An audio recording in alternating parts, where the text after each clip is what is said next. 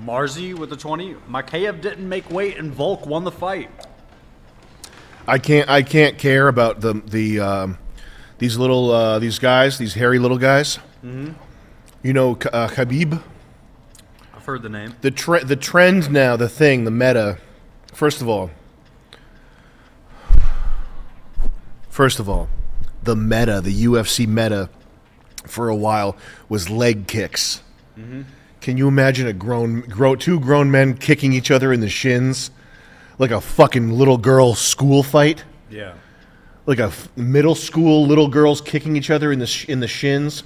When I was in, when I was a kid, there was this girl Crystal Hubs, and Crystal Hubs they called her the Shinner because she would go around kicking people in the shins.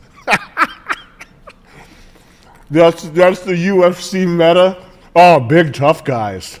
These are the toughest guys in the world, Joe Rogan. These guys are so tough. They're so tough.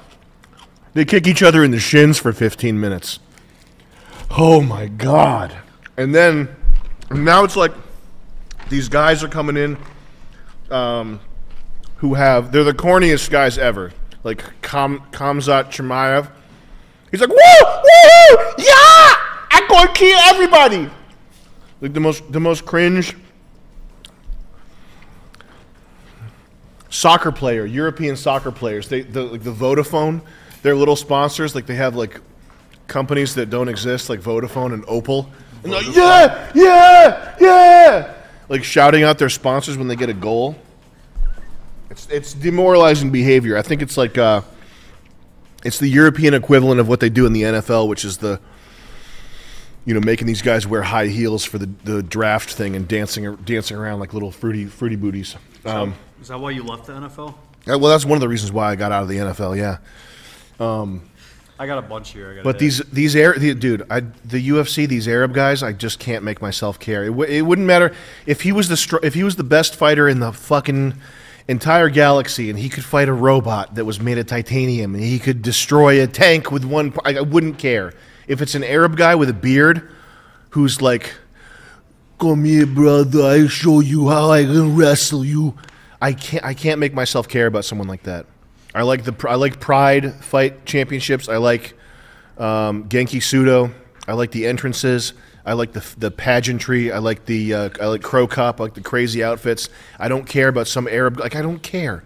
I don't care if it's if there's like listen. If you told me that there's some Guatemalan guy behind Stop and Shop right now, Yeah. and he's got the biggest biceps and he can crush a pineapple. I just don't care. I don't care about some little hairy guy that's Muslim.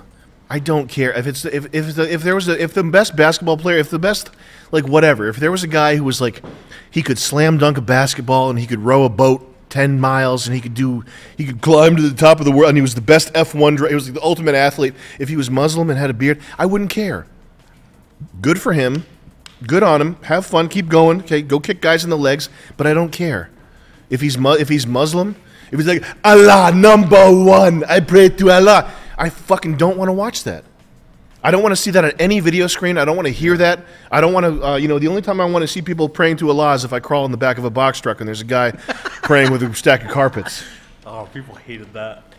S- fucking suck it.